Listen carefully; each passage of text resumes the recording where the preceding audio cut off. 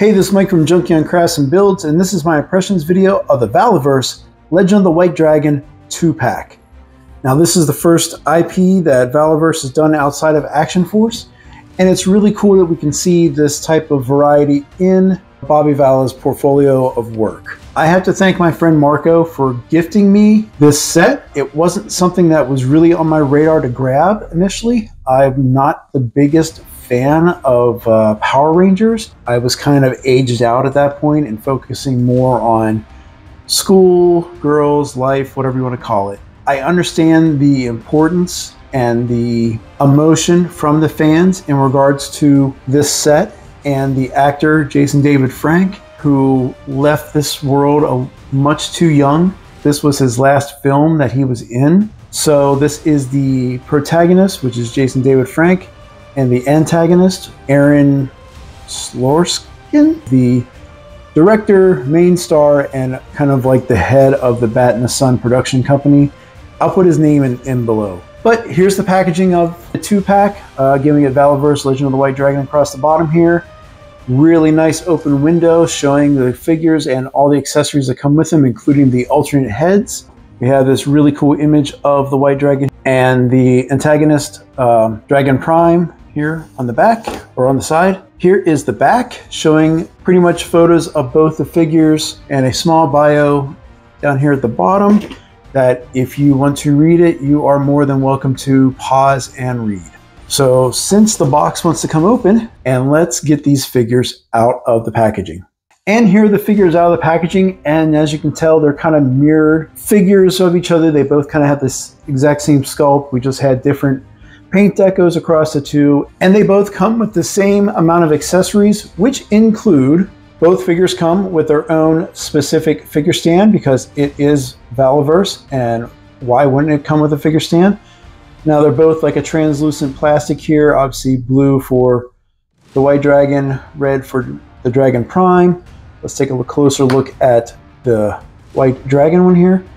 Uh, like I said, translucent plastic Legend of the White Dragon embossed inside with a bunch of cracks and a dragon head here on the side, similar to his helmet.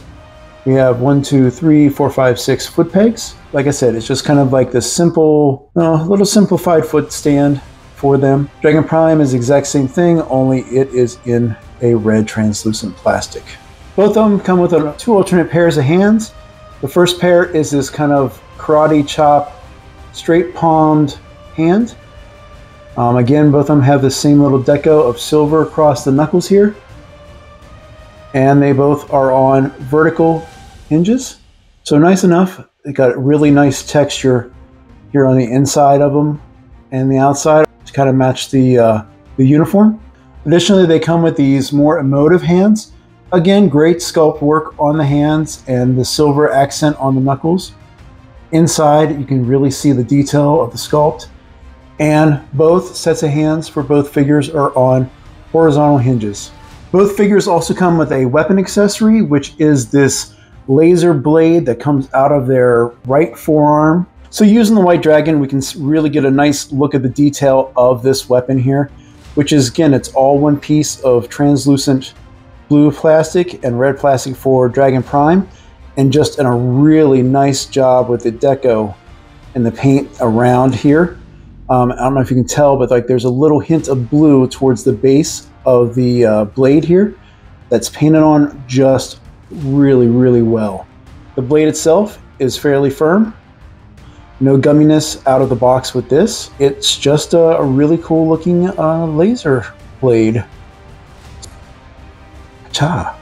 And when you do not want to have their weapons engaged, they also have a, another forearm accessory that does not have the blade attached that you can put on their forearms for a more casual or other action-oriented pose that you want to put your figures in.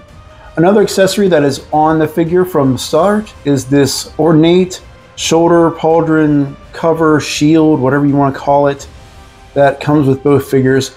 And it's made of a softer pliable plastic. Um, each of them have a deco of like this white diamond here painted on. Overall, the sculpt work on this is really well done. The nice hammered metal finish with this uh, kind of semi semi-gloss gold. It does have a peg inside that will fit on the back of the hero or villain. The final accessory is an alternate head for either figure. And to me, this is kind of like the, one of the real big cool points of this set. Not only do we have a really well articulated, well built figure with a lot of accessories, but we get these alternate heads. So we're going to start here with Dragon Prime. And here is the alternate head in the likeness of the director and Aaron names below. Um, but this is a really awesome looking head sculpt. To me, looking at after watching the trailer, this guy does look really close to the actor's likeness. Yeah, like I said, this is a, a really good sculpt. Uh, you can see the hair kind of bends down the back here. So let's go ahead and put it on. And yeah, man, I mean, so just a really, really good looking head articulation, you can go up that far, down that far with his hair. So, yeah, uh, this guy looks very much like a villain. So let's go ahead and look at Jason David Frank's figure. And with the White Dragon, again, this first helmeted head looks really well done. We got a really nice uh, yellowish gold here across the visor and the dragon eyes. We still have the same white emblem diamond here color that matches his armor piece. But here is the alternate head of Jason David Frank. In the likeness, I know some people say it's not really looking like him. I disagree completely watching the trailer. I think this is a really spot on sculpt of Jason David Frank. We have uh, this number tattooed in on the side of his head. I'm not sure what that's for. Uh, we have this really nice fade going along from uh, the bottom of the scalp up to the top. We have an earring in here. And I don't know if you can tell here, but we have a little bit of like a gray dry brush across the beard. So let's get uh, this alternate head on the body. And there's the alternate head on the body. Again, I'll say this until whenever, but this is the selling point, I think, for this set is for collectors to have this highly detailed alternate head of a fan favorite character from the Mighty Morphin Power Rangers. There's nothing really much more to say. This head looks amazing on the figure. So let's go ahead and look at the aesthetics of both these figures. So going into the aesthetics, we'll start with the white dragon here. And again, it's just a really beautifully sculpted figure. Um, the helmet here has like a pearlescent silver paint job with this, like I said, this kind of yellowish, dark yellow mustardy color for the eyes and the visor. Again, we have this really nice defining line work around the paint scheme here. And again, the back of the helmet here, the sculpt is just really nice. You know, going around, we already talked about the armor piece and the hammered look of the metal and the paint on the crystal, whatever it's called. Moving down to the body here, I mean, again, the sculpt work and this like honeycombed shape here Looks really nice on the body. We have these armor plated sides here and like these shapes that kind of help define the uh, musculature of the waist. We have these nice goldish armor pieces on the shoulders that are painted on top of the shoulder, but doesn't get in the way of anything. Uh, already talked about the forearm colors here. Again, the detail of the gold and the silver. The fists and all the other hands, again, have that nice accent of silver on the hands at the knuckles. Again, that design continues on down through the legs of the sculpt. and down to his silver boots. And bringing in Dragon Prime. Uh, again, it's the same body, just a different deco, but this uh, darker silver kind of gunmetal look on the armor pieces and the and the trim look really nice. Uh, he's got a reddish crimson uh, paint job for his crystal. So good and evil laid out here in colors and aesthetics. But what about articulation? Let's go through that next using Dragon Prime. And moving on to articulation, you're going to see a lot of the same type of engineering here on these figures. So let's go ahead and start with the top. And again, I put the uh, dragon heads or the mast heads back on to kind of show the best way of range with these heads. So we are on the neck peg that we are used to seeing on Valaverse figures. And that allows you to get the head up that far, down that far. Do a 360 if you take the shield off, but if not, it's going to run into uh, these raised pieces. Moving on to the shoulders, you can get you can get 90 degrees. As you can see, it's glued here at the bottom of the shoulder. Sorry, glued here at the bottom of the shoulder. So it does raise up over the shoulder uh, upper torso piece here to allow you to get the 90. Um, do I want to do that all the time? Probably not because I don't want to loosen up that paint, but just to show you that it can be achieved, right? You can do a 360. You got to kind of go out to get around the uh, shield there, but that's all right. We have a bicep rotation that again, I was saying earlier, it was on the shoulder. It's actually on the upper part of the arm here. So we have our usual suspect of a double jointed pinless elbow, well past 90 degrees. This forearm piece doesn't come off. So, but the hands and the wrist do rotate 180 and the fists are on a vertical or a horizontal hinge. For the body itself, we have this double ball, ball peg system here. And this is going to be where I have a bit of an issue with these figures as a whole. And I think it really comes down to the sculpt. So again, the engineering for the upper ball peg, you can kind of go back a little bit, forward a little bit. In conjunction with the lower ball peg, you can bend forward that far and bend back that far. But the issue I have here is at the waist rotation the way the sculpt is done, and it's probably just because of how the suit is for the movie, you had this big gap here for the ball peg. Um, and that kind of really breaks up the look of this um, going into the lower torso. Again, with Action Force figures, we usually have like a, a sculpted belt or some sort of waist pants that kind of hides this pivot point. But on these guys, there's really nothing there. This is kind of like a one piece. So that is kind of just one of the things we'll have to deal with with this set.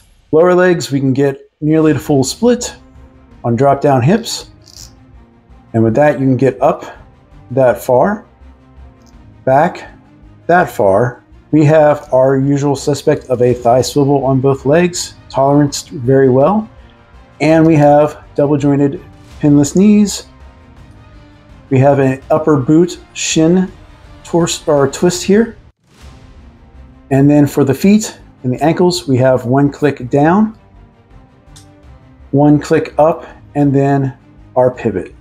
So standard articulation range for an Action Force figure, which means you can get into a lot of poses with this guy. Let's go ahead and get to our final impressions.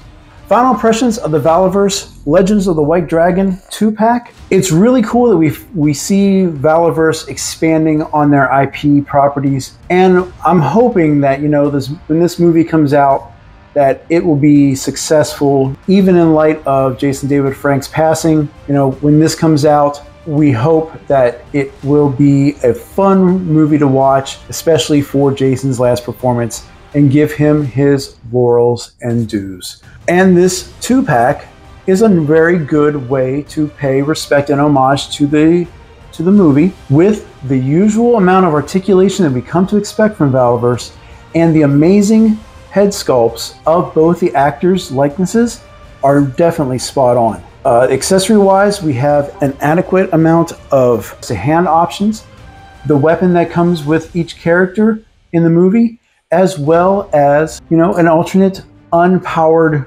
gauntlet, if you want to call it. I take back my hesitancy on wanting to get this. It's a little pricey at 60 bucks, especially if you are not a fan of the Power Rangers, uh, especially if you're looking strictly at the alternate head sculpts. I highly recommend if you are a fan of the Power Rangers, of Jason David Frank as the actor, or a fan of the Valaverse Action Force line in of itself because these heads are compatible. But I do say give it a shot if you can. Uh, you won't be disappointed. The articulation in of itself, like I said, is really great. And you can also, you know, add it to your Lightning collection since that's going on discount with Hasbro before it goes over to Playmates. These figures are fun to play with. I am happy to have them in my collection, and uh, hopefully you'll take that opportunity to add them to yours. So that's kind of everything I have to say about this set. I'm happy. Hopefully you're happy if you have them. And if you haven't got them, gotten them yet, maybe give them a try here on one of the many sales or conventions that Valaverse is going to be at, or get them from your other e-retailers like Big Bad Toy Store, Nerdzoic, and Hella Dope Toys. Thank you guys for watching as always. Again, like, share, comment. I read every comment that you guys put on there. I really appreciate the feedback. And if I've earned your subscription for watching. Until next time, everyone, thank you so much.